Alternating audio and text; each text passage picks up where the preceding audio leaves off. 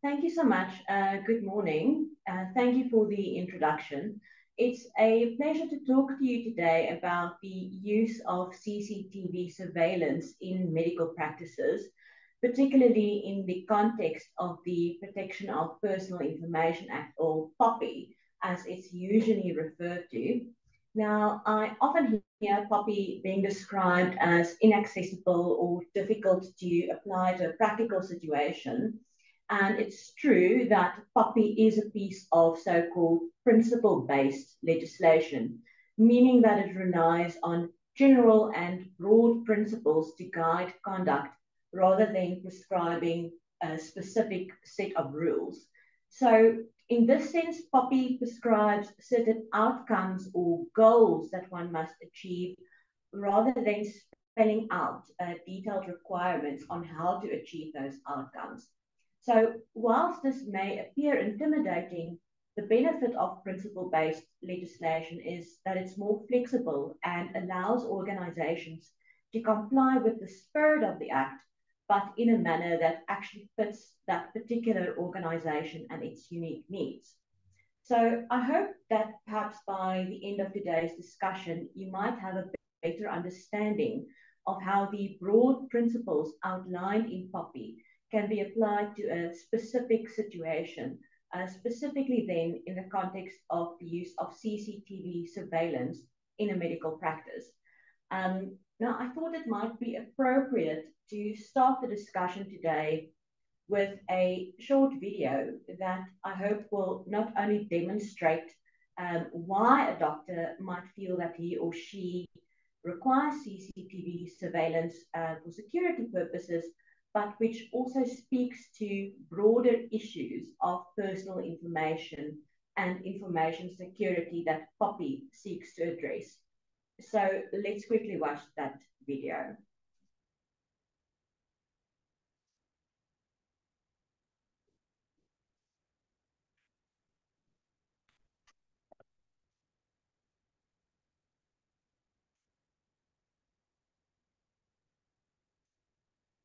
Medical records stolen from a dental office. And the theft was caught on camera. Eyewitness News reporter Carlos Granda has the story. It appears the suspect knew exactly what he wanted. Surveillance video clearly shows his face while he's inside the dental office. He goes straight for a cabinet with medical records, grabbing them by the handful and stuffing them into a plastic bag. The value of those records on the dark web.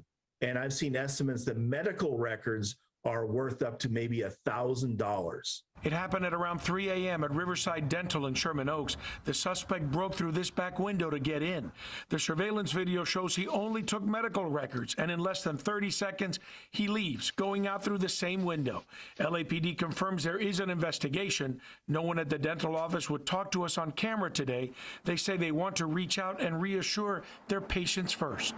Getting less secure and we become more vulnerable. We did speak with Mike, who didn't want to give us his last name. He owns a business business next door. Yeah, we do worry. You know, we asked the management to put some security cameras. A little scary, huh? It is. It is. To be honest with you, it's not just for us, but it's also for our clients. You know, they don't feel that safety even parking in the back. This is a low tech cyber crime in essence of stealing records. Vernon says stolen medical records can be a serious issue. They contain personal details such as medical history, insurance information, and maybe even social security numbers. And some fraudulent person can take that information and masquerade as you to get health care, to get an operation, to get a facelift, to get prescription drugs and what have you, because they have all this information that can almost confirm who they are as you. Security experts say to help prevent identity theft in the future, it's a good idea for everyone to monitor their credit reports regularly. Hello, I'm Mark Brown. Get more great ABC7 content by clicking the subscribe button. Okay, so I think the video clearly demonstrates why doctors might consider the installation of CCTV surveillance uh, in their practices to prevent and detect crime and manage their security risks. Obviously, medical rooms often contain expensive equipment, controlled items such as medicines and other supplies that have to be kept safe from theft. Over and above the housing of equipment and medicines, confidential patient records are, of course, also typically stored in medical rooms.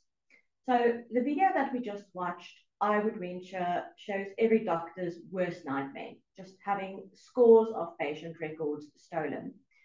So whilst I don't intend talking about the implication of the theft of patient records today, although that would be quite an interesting topic on its own, I nevertheless do intend talking quite a bit about personal information, of which uh, patient records are, of course, an example.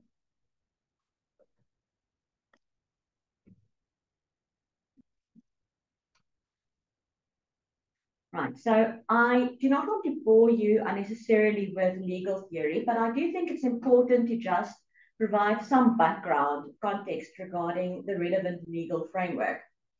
So whilst CCTV surveillance is not specifically regulated under South African law, doctors considering the installation of CCTV surveillance in their practices would, broadly speaking, have to ensure that they comply with the Constitution, in particular the Bill of Rights and the Section 14 right to privacy.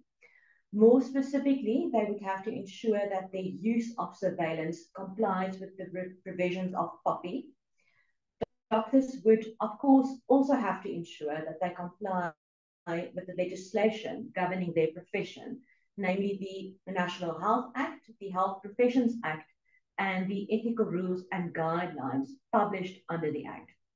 Now, the good news for doctors is that if you're POPI compliant, it will necessarily mean that you're also compliant under the Constitution and probably also in terms of the Health Professions Council's uh, professional rules and guidelines. So in that sense, POPI is uh, quite a comprehensive piece of legislation.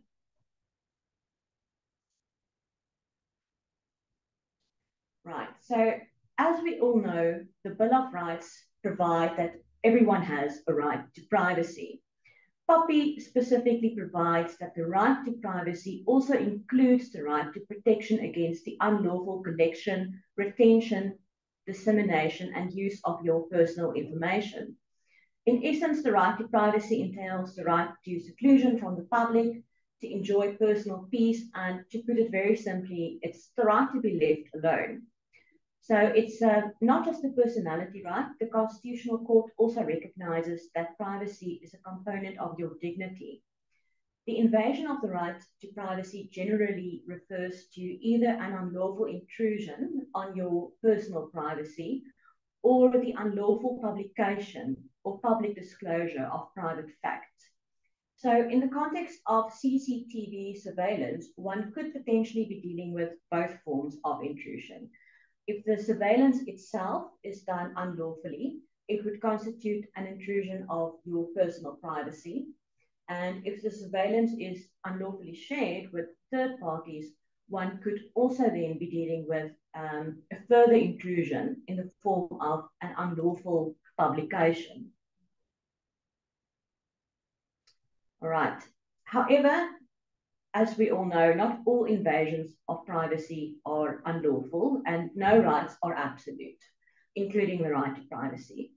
Section 36 of the Constitution, the so-called limitation clause, provides that the right to privacy may be limited, for example, in terms of POPI, to the extent that the limitation is reasonable and justifiable in an open and democratic society based on human dignity, equality, and freedom.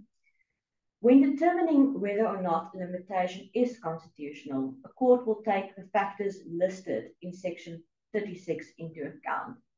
So these factors include, for example, the nature of the right, in this case, the nature of the right to privacy, the importance of the purpose of the limitation. So when we're talking about CCTV in medical rooms, one would have to consider the importance of maintaining security at the doctor's rooms. One would also then look at the nature and extent of the limitation. So in the case of CCTV, the nature and extent of the limitation of the right to privacy might be quite minimal, depending, of course, on the extent of the surveillance itself. You'd also then consider the relationship between the limitation and the purpose. a doctor would, for example, have to demonstrate that the limitation of the right to privacy via surveillance is in fact able to achieve the intended purpose of maintaining security at the practice. You'd also then consider whether there might be less restrictive means that you can use to achieve the same purpose, in which case those less restrictive means should generally be preferred. I'll unpack these requirements with you in a little more detail in a moment uh, when we discuss the lawful processing or the conditions of lawful processing outlined in the Act. Now, very briefly, uh, the purpose of POPI is, in essence, to give effect to the constitutional right to privacy, specifically then in the context of the processing of personal information. POPI protects information that is processed by both public and private bodies, most importantly by prescribing certain requirements for the lawful processing of personal information. These conditions for lawful processing are of critical importance for each and every individual or organization dealing with personal information. If you're thus able to take away only one thing from today's presentation, I would recommend that it be the importance of familiarizing yourself with these conditions. And we'll get to these conditions in a moment. Um, but before we do so, let's just first consider when does POPI actually apply? Uh, keep in mind that POPI does not apply to each and every instance of processing of personal information. Okay, so it's easier to understand the application of POPI if it's broken down into triggers, which I've tried to do on this slide. POPI applies to the processing of personal information entered into a record by a responsible party by making use of automated or non-automated means where the responsible party is domiciled in South Africa. POPI also applies to a responsible party who is not domiciled in South Africa, but who makes use of automated or non-automated means in South Africa, unless those means are used only to forward personal information through the Republic. If the answer to all of these triggers is yes, POPI will apply, unless one of the exceptions applies. So, for example, POPI does not apply to processing of personal information for purposes of purely household or personal activities. Um, the concept of personal or household activity is not defined in POPI, but it would relate to processing that does not occur in connection with professional or commercial activities. That being said, it will not necessarily always be easy to determine the exact scope of personal or household use. So, for example, we're talking about CCTV, right? Um, if you install CCTV surveillance at your family home for purposes of protecting your property, the cameras might also record people on the street outside, which is a public space. It's unclear whether this would amount to processing for purely personal or household activity. We don't have any um, guidelines or legal cases or, or authority on that yet in South Africa. However, there is some foreign case law uh, that says that if surveillance covers a public space, it might not be purely personal or household activity, and thus POPI could potentially apply. However, for purposes of today's discussion, uh, one can safely say that the use of CCTV in medical rooms would not constitute personal or household activity, and that POPI could thus potentially apply. All right, so the first question is whether your organization is processing personal information. You'll note from the definition quoted in this slide that the concept of processing is defined widely in POPI. Basically, processing covers all activities that involve personal information, from its collection to its ultimate destruction. The definition is certainly wide enough to include recording of surveillance footage, as well as the subsequent storage of the footage, its eventual destruction, and if need be, making that footage available to law enforcement. Right. The next question is whether your organization, in this case, it would be the medical practice, is processing personal information. Now, I'm not going to read the definition of personal information out to you in full, but it's quoted in the next two slides. And you'll note that POPI provides a really long list of personal information in this definition. This list is also not exhaustive. Personal information essentially includes almost any information relating to an identifiable living person. The definition of personal information in the Act, although it's not a closed list, does not explicitly refer to CCTV surveillance, as you'll note when you read these two slides. The definition does, however, refer to biometric data. So one might ask whether perhaps video footage is a form of biometric data. In my view, video surveillance by itself probably does not constitute biometric data.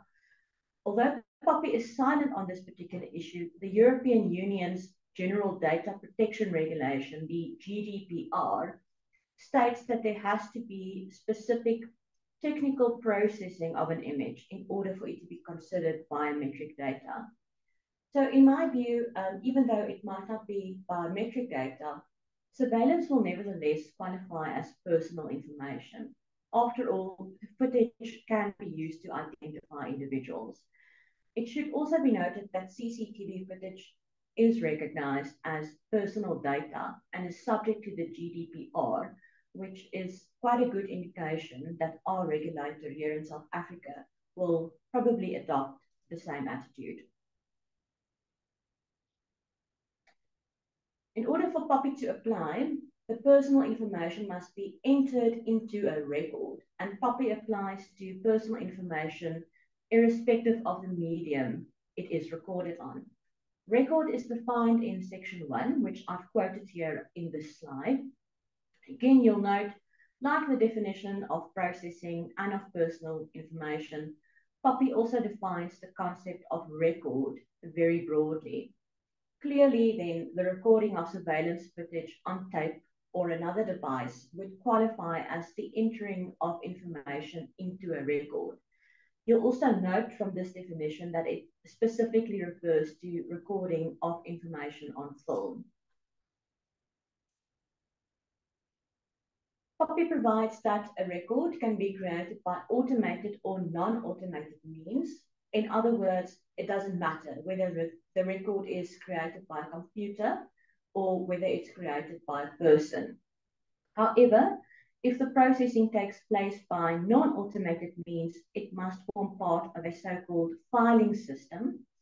Filing system is also defined in section one, and it refers to a structured set of personal information which is accessible according to specific criteria, regardless of whether it is centralized, decentralized, or all in the same place. So for example, an unsophisticated filing system would just be like a lever arch file you have in your office, whereas a more complex filing system might include, for example, a database. The implication of what we've just discussed is that the use of CCTV would fall within the ambit of POPI. In turn, the doctor in question would qualify as the so-called responsible party in respect of the CCTV footage. In this context, the responsible party refers to the person who, firstly, determines the purpose of the processing activity in other words, why is the personal information being processed? And secondly, the person who determines the means for the processing activity. In other words, how is the personal information being processed? It's, of course, also possible for two or more persons to be uh, co-responsible parties. For example, in the context of a group practice or partnership of doctors assuming they all take joint decisions about the purposes and means of processing the CCTV surveillance. Now, the identity of the responsible party is important because he or she must ensure that the conditions for lawful processing are complied with. In addition to a fine or imprisonment, if he or she, he or she commits an offence under the Act, a responsible party may also be exposed to civil liability under the Act. In this regard, data subjects have a right to institute civil action against a responsible party for non-compliance with the Act if this results in an interference with their personal information.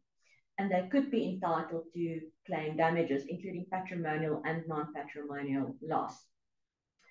Responsible parties might also be held vicariously liable for actions of their employees, provided, of course, that the action of the employee occurred within the course and scope of their employment. As such, it's important for doctors to know you as an employee as opposed to, for example, uh, another co-responsible party. Now, the conditions for lawful processing are outlined in Section 8 to Section 25 of the Act. I've quoted them here in this slide, and I will discuss each of these conditions with you briefly in a moment, specifically insofar as a particular condition applies to the use of CCTV surveillance in a medical practice. Firstly, you've got accountability. Now, accountability broadly just means that the responsible party, in this case it would be the doctor, must ensure that POPI is complied with at all stages. Accountability actually starts before the processing of information commences, and doctors must therefore be accountable at the planning phase as well. In other words, you must also be POPI compliant when planning and deciding how and why CCTV surveillance will be used in the practice. It goes without saying that the responsible party must also ensure compliance at the time of the actual processing of personal information, meaning that the CCTV surveillance itself will have to be com uh, compliant at all times. POPI provides that personal information must be processed lawfully in a reasonable manner that does not unjustifiably infringe on privacy rights. This is part of the lawfulness of processing, the Section 9 limitation. So here you have that word again, reasonable, and you'll note that behaving reasonably is at the very heart of POPI compliance, and it appears over and over again in the Act. Um, as noted earlier, the invasion of privacy is not in itself unlawful and no right is absolute. Ultimately, whether or not the infringement of privacy is reasonable and justifiable would depend on the assessment of the factors referred to in Section 36 of the Bill of Rights, the so-called limitation clause. This exercise will typically require the weighing up of competing interests of various parties for example, whilst CCTV surveillance might entail an invasion of privacy, the use of surveillance might be crucial to prevent, detect, and prosecute crime and to ensure the safety of staff and patients. So, in that sense, the, limit the limitation of the patient's right to privacy might then be justified. When weighing up these competing interests, it's also important to keep in mind that the right to privacy operates along a continuum. This simply means that the law, first and foremost, acknowledges privacy in the truly personal realm. However, as we move into communal relations and activities like business and social interactions, the scope of personal space shrinks accordingly. In this sense, whilst patients might have a legitimate expectation of privacy in a bathroom or a consulting room or an operating room, the same cannot be said for public spaces like entrance doors, reception, parking bays, and other areas in plain view in and around the practice. As such, a good rule of thumb with regards to the placement of cameras is to consider whether there might be a reasonable expectation of privacy in that area. If your answer is yes, it's not appropriate to install in cameras uh, install cameras in that area. Whether or not, when considering whether or not processing is reasonable, you should also ask yourself whether it complies with the so-called principle of minimality. The principle of minimality or data minimization, as it's known in other jurisdictions, means that personal information may only be processed if, given the purpose for which it's processed, it's adequate, relevant, and not excessive. When you consider this definition of minimality, it's actually quite similar and resembles some of the factors outlined in Section 36 of the Constitution. For example, the principle of minimality, like the factors outlined in Section 36 of the Bill of Rights, may require of you to consider factors such as the following considerations of necessity and proportionality. So, for example, is the use of CCTV reasonably necessary to keep the practice safe? Is the processing not perhaps excessive given the intended purposes? For example, installing CCTV in the ladies' rooms would be excessive and not necessary for purposes of maintaining safety at the practice. Doctors must never collect, and this is a good rule of thumb, never collect more personal information than what is needed to fulfill the purpose for which you are collecting that information. Are there perhaps other reasonable and less invasive means to uh, achieve your intended purposes? And will the processing that you plan to do actually achieve your purpose for processing that personal information? If not, it's probably not relevant, probably doesn't comply with data minimization, and it might then get you into trouble. So in summary, CCTV surveillance should be regarded as a legitimate limitation of the right to privacy, provided that the surveillance is reasonable, proportionate to its purpose, and necessary. Some guidelines here or rules, rules of thumb CCTV in a med medical practice should be limited to potential problem areas like entrances, storage rooms, and dispensing areas. Cameras should ideally not be directed or directly focused on areas where patients might be sitting, like a waiting room, and CCTV in a consultation room or other private areas like a bathroom or operation room will be an absolute no-go. POPI requires that you must always have a legal basis for the processing of personal information. A legal basis could, for example, include the data subject's consent, a contractual right to process the information, if you're obligated by law to process the information, if processing protects a legitimate interest of the data subject, or if processing is necessary for purposes of pursuing your legitimate interests. Now, in the context of CCTV surveillance, the most likely legal basis for processing would, in my view, relate to the legitimate interests of the doctor. Could one consider consent as a legal basis for surveillance? In my view, it would be very difficult to base CCTV surveillance on consent, simply because it would be impractical to obtain valid consent from every single person entering the premises. Um, apologies, I just lost my slide here.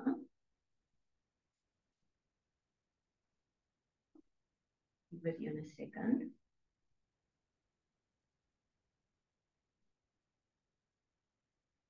Here we go.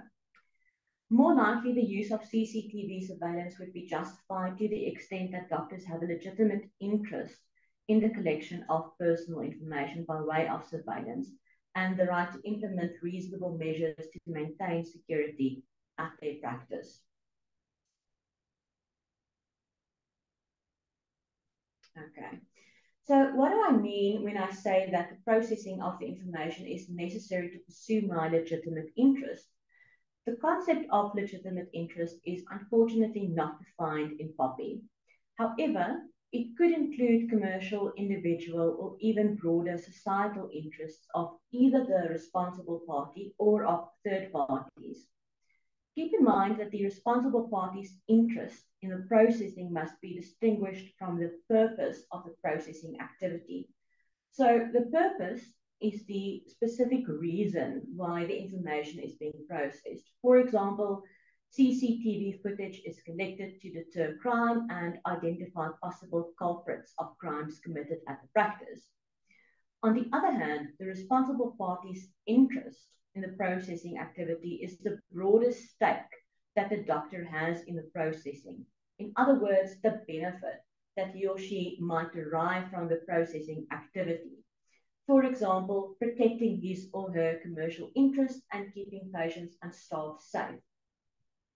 That being said, keep in mind, just because you have legitimate interest in the processing of personal information does not mean it's a free for all. And it does not necessarily mean that the processing will be lawful um, under Section 11. You must still be able to demonstrate that the limitation of the data subject's privacy is, here's that word again, reasonable, and your legitimate interest can actually be trumped by the interest or fundamental rights and freedoms of the data subject. Okay. Although POPI does not provide any guidance to determine when the processing of personal information would be justified based on the legitimate interests of the responsible party, there are some very helpful guidelines internationally particularly those outlined by the Information Commissioner's Office. The ICO is the UK's independent body set up to uphold information rights. You can find very detailed information on so-called legitimate interest assessments on the ICO website. In essence, an assessment of this nature would require of the doctor to firstly identify legitimate interests. So for example, protecting property, staff, and patient safety. This is referred to as the so-called purpose test by ICO. Secondly, to show that the processing of information via CCTV surveillance is necessary to achieve that interest. ICO refers to this as the necessity test. And lastly, to make sure that the interests of the doctor are reasonably balanced against the rights and freedoms of third parties, including the right to privacy of data subjects. ICO refers to this as the so-called balancing test. So as noted earlier, you can find a lot of information about legitimate interest assessments online on the ICO website, including specific questionnaires to consider um, for purposes of each leg of the test, which is quite useful and I would recommend that you maybe go look that up. Um, I have quoted some of the questionnaires in the next three slides, just to give you an indication of what a legitimate interest assessment might entail. So you've got part one, the purpose test, the necessity test, and the balancing test. Unfortunately, we do not have time today to go through these questionnaires, but the slides will be made available upon request and the questionnaires are also available online on ICO's website. POPI requires that personal information may only be collected for a purpose that is specific, explicitly defined, lawful, and related to a function or activity of the responsible party. It's very important that you are specific when defining the purposes of your processing. For example, saying that CCTV surveillance is required for general practice and business purposes would not be sufficient. That's not specific enough. Knowing the purpose of the processing is a prerequisite for applying various other data quality requirements as well. For example, the principle of minimality is determined in relation to a specific purpose it will be impossible to determine the appropriate retention period for personal information if the purpose for which the information was collected is not properly defined. The notification duties prescribed by POPI cannot be met if the purpose is not specified. The, lawful, uh, the lawfulness of the processing also cannot be assessed without knowing what the purpose of the processing activity is, etc., etc. I can give many more examples to illustrate why purpose specification is so important under the Act. Apart from the fact that the purpose of the collection must be specific, explicitly defined, and lawful, it must also be related to a function or activity of the responsible party. Although the information regulator might have to issue clearer guidelines in this regard, I would certainly say that measures taken to protect practice property, the property of patients and staff, and even protecting the safety of staff and patients themselves are indeed related to the general running of a medical practice. I'm dissatisfied that the use of surveillance at a medical practice could be related to a function or activity of the doctor. Okay. As noted earlier, appropriate retention periods for personal information are determined with reference to the purpose for which the information was collected. Section 14 of the Act provides that you may retain a record of personal information for as long as needed to achieve the purpose for which the information was collected or subsequently processed. A doctor will probably only need to retain CCTV footage for a couple of weeks, since an incident like theft at the practice, for example, will typically come to light very quickly. However, the practice might then need to retain footage a little bit longer if a crime was reported to the police at least until the police has collected the footage. When all the justifications for retaining footage have expired, the doctor will have to destroy, delete, or de-identify the footage as soon as reasonably practical. For a record to be considered deleted or destroyed, it must not be possible to reconstruct the record in an intelligible form. So one must also um, just always be very careful when you're deleting or destroying digital data, right? Because it's not as easy to destroy digital data as, say, destroying paper records.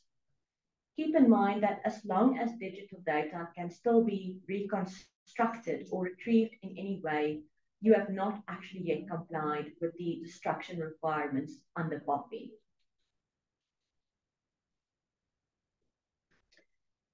Okay. As a general rule, the further processing of personal information should be compatible with the initial purpose of collection. This is just another reason why documenting the purpose of collection is so very important. Further processing of CCTV footage may, for example, include sharing that footage with law enforcement. Now, POPI provides some guidelines in order to assess the compatibility of your new processing activity, including, amongst others, the relationship between the purpose of further processing and the purpose of the initial collection. In essence, to make it simple, if the new purpose was implied in the original purpose, in other words, if it's a logical next step, it will be compatible. In my view, sharing CCTV footage with law enforcement will be compatible with the initial purpose of collection, as sharing footage of a crime with the police would be a logical next step pursuant to the collection of that footage. A good rule of thumb uh, when you're considering uh, combat compatibility of further processing is to ask yourself whether the data subject will be surprised to learn about the further processing. So I tried to think of an example to demonstrate this um, at the hand of CCTV. And I think a, a good example might be, for, um, whilst it would be in order to disclose CCTV footage of a theft at the practice to police, I would not recommend that a doctor, for example, disclose CCTV footage of a patient entering and leaving the practice at a certain time as part of that doctor's response to a patient complaint at the Health Professions Council of South Africa. Clearly, using that footage as evidence when responding to a complaint at your regulator is not compatible with the initial purpose of collection, where that initial purpose was preventing, detecting, and prosecuting crimes that are committed on your premises.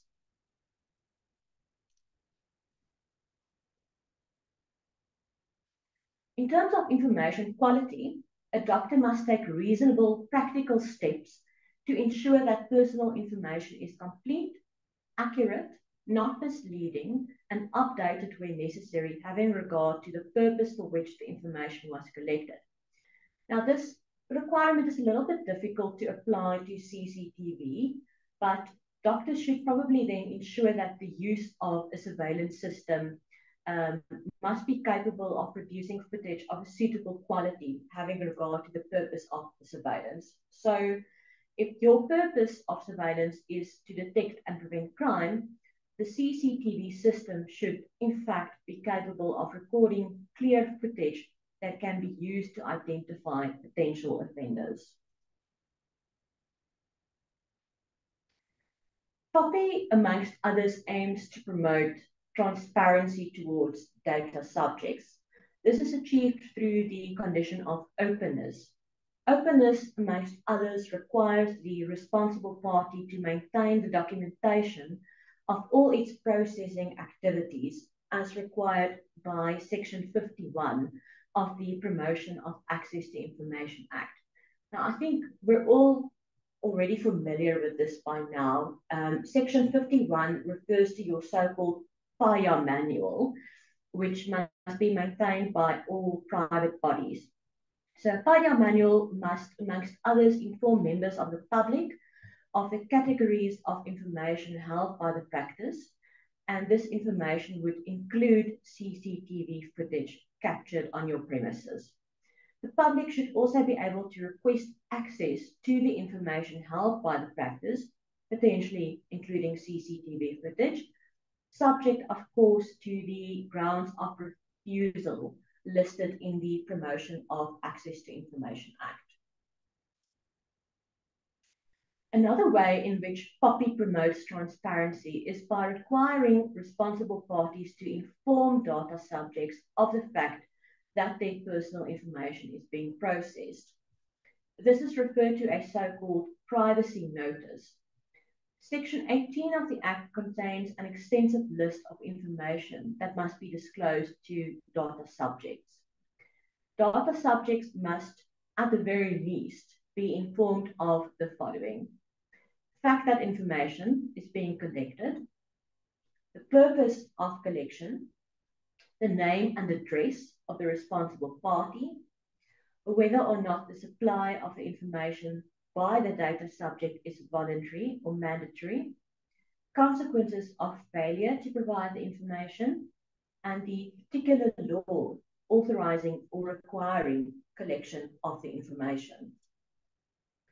In addition, if necessary to ensure that the processing is reasonable, a data subject must also be informed of the recipient or category of recipients of the information, the nature or category of the information, the right to access the information, your right to object to processing, and your right to complain to the information regulator, as well as the contact details of the regulator. Now, in the context of CCTV surveillance, a Section 18 notice would require of the doctor to notify data subjects about the fact that they are being recorded. The notice is obligatory unless one of the grounds of exception outlined in the Act apply. Amongst others, the Act provides that a responsible party does not have to comply with Section 18 if compliance is not reasonably practical. In my view, whilst it would be impractical to individually notify each and every person entering the premises of the presence of CCTV surveillance, a doctor would definitely be obligated, at the very least, to place signs around the practice, located at strategic points, alerting the public to the fact that there are cameras installed. Generally, the notification cannot take place after the fact and the data subject must be informed before the personal information is collected.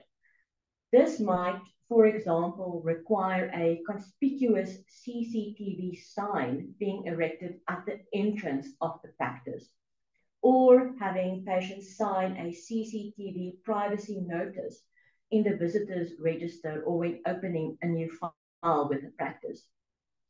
In addition, in the interest of transparency, doctors should ensure that the surveillance should not be covert, In other words, the cameras should be in plain sight. I would not recommend including a consent clause in a CCTV privacy notice like this. So, for example, I would advise against inserting a clause to the effect that uh, by entering this practice, you consent to the processing of your personal information via CCTV surveillance. I don't think that consent would be valid. Um, defines consent, and for consent to be valid under POPI, it must be a voluntary, specific, informed expression of will. So valid consent involves a genuine choice where the data subject actually has the option to say no. It also involves an affirmative act. So consent by default or an automatic opting in um, for the processing of your information would not qualify as valid consent under POPI. Okay. I have in the next two slides, and I've divided it over two slides, um, provided you with an example of a CCTV privacy notice that I had prepared myself. Um, it should be noted that a medical practice does not necessarily only have to have a single comprehensive privacy notice. So there could be several different privacy notices relating to the various forms of information processing that takes place at the practice. In my view, though, it makes sense to have a separate CCTV privacy notice, but POPI is not prescriptive in this regard, so you can do whatever you think is best. So you'll note that I've included the following information in the notice. First of all, um, under About Us, I've included the name and address of the responsible party. And then the notification, I've included the fact that CCTV footage is being collected. I've then also disclosed the purpose of the collection, which I made sure is explicit and very specific. And then I've also, under item four, included the fact that the collection of the footage is authorized in terms of POPI. Now, you'll note that whilst POPI does not require of the responsible party to disclose the legal basis for processing in a privacy notice, I've actually chosen to specifically declare um, the legitimate interest basis for my processing in my notice. POPI provides that when a responsible party relies on this particular justification, the data subject may object to the processing activity at any time on reasonable grounds relating to his or her situation. So, in my view, although the Act does not explicitly require of uh, you to do it, I think it would be important to disclose when you're relying on legitimate interest as the legal justification for your processing, because the data subject then has a right to object based on reasonable grounds. Unfortunately, POPI doesn't explain what an objection uh, uh, of this nature might actually entail and how you would have to respond to it. However, if a data subject objects to processing, the responsible party will probably have to stop the processing unless he or she is able to show that there are in fact legitimate grounds for the processing, which overrides the data subject's interests. Obviously, a responsible party would also be able to disregard an objection that is simply unfounded because the objection will then not be reasonable. Moving on to the second page of my template notice, I have further stipulated the fact that the supply of information is mandatory. Obviously, you cannot enter the premises without being captured on camera. I've then gone further and also included information regarding the fact that the footage may be disclosed to law enforcement. And I've covered the data subject's rights under POPI, including the right to establish whether the practice holds information about you, and if so, to request access, the right to request the, uh, the destruction um, of irrelevant, excessive, unlawful, or out of date information, and the right to object to the processing of information on reasonable grounds. And then lastly, the right to lodge a complaint with the regulator. Okay. So in this slide, I've included a very basic example of what a CCTV notice might look like. These signs should be placed around the practice, particularly in the areas actually being monitored, and definitely at the entrance, most importantly. Uh, remember that the camera should be installed in plain sight and should not be covert. And as an added safety net, these, uh, these signs should be erected in addition to having data subjects sign privacy notices, as it might not be realistic to have each and every person entering the premises sign a notice. So these signs would be quite important as a, a, a safety net. Right, so in terms of the Act, doctors also have a duty to take appropriate and reasonable technical and organizational measures to prevent loss, damage, unauthorized destruction, and unlawful access to surveillance footage. To do so, doctors have to take reasonable measures to identify reasonably foreseeable internal and external risks. These could include, for example, human error, data loss, hacking, physical theft, what have you. They must also establish and maintain appropriate safeguards against the risks and regularly verify that the safeguards are effectively implemented and then ensure that the safeguards are continually updated in response to new risks or deficiencies. Fortunately, uh, POPI doesn't define reasonable measures and merely provides that when considering acceptable security measures, due regard should be had to the generally accepted information security practices and procedures in that industry. This could, for example, include encryption or other appropriate technical method, methods to ensure the safety and security of the footage. At minimum, I would say that the CCTV footage should be securely stored in order to prevent unauthorized access.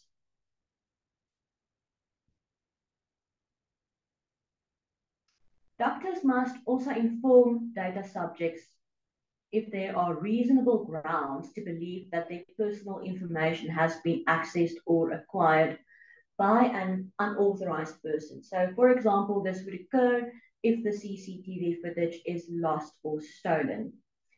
You'll also then have to inform the information regulator. Now, POPI doesn't define reasonable grounds to believe, but it will likely require more than a suspicion or the mere possibility. You would at least have to have some evidence to back up your belief. The notification must be in writing and must be communicated to the data subject in at least one of the following ways. Um, you'll note emailed to the last known address, um, mailed, placed in a prominent position on the website, published in the news media, or in whatever manner or format the regulator, regulator tells you to do it. The content of the notification prescribed uh, um, is outlined in section 22 in the Act, and I've quoted it on this slide. A notification uh, about a security compromise might have to be quite comprehensive, depending on the nature of the breach and the type of information involved. For example, if you're dealing with credit card information or that absolute nightmare scenario in the video we watched at the beginning of, of this presentation. However, a notification that CCTV footage has been lost or stolen would likely be relatively straightforward as it would probably not constitute a high risk security compromise that would require extensive measures to mitigate the possible damage. Obviously, it might not be practical or possible to identify and notify all of the affected individuals, in which case a general notice at the practice or on the website would be sufficient.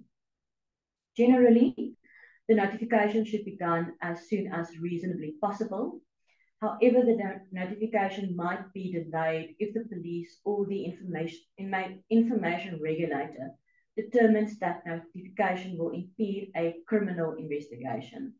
So, for example, the police might request a doctor to hold over on informing data subjects of the security breach in circumstances where it may be wise to conduct a sting operation.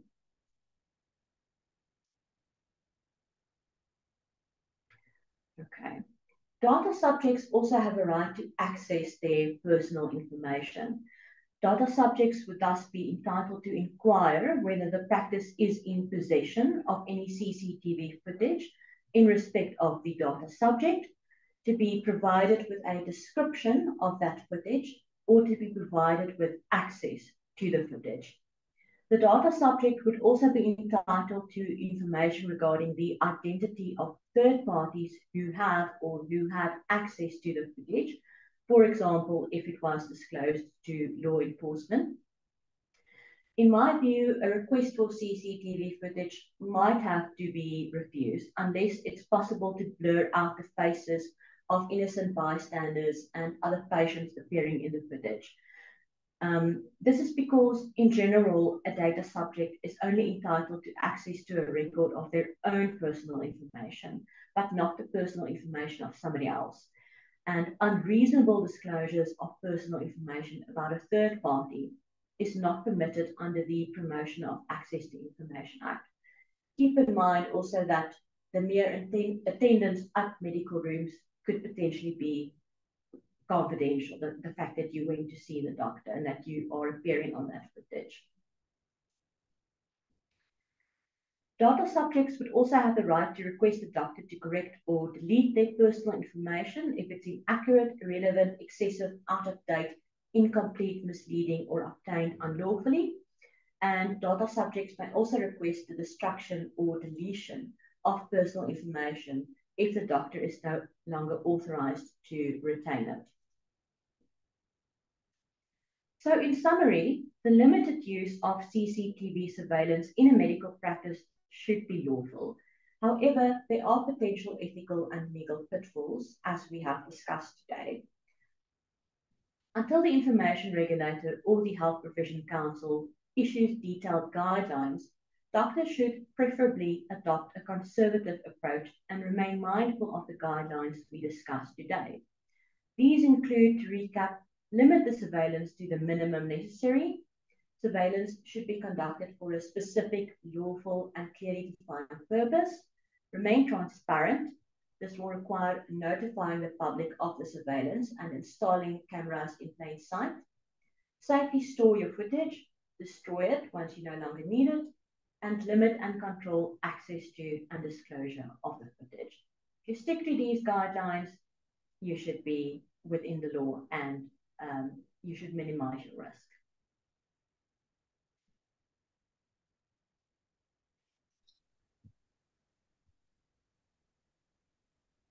Thank you very much, uh, Ms. Hendrika, for the amazing and informative presentation.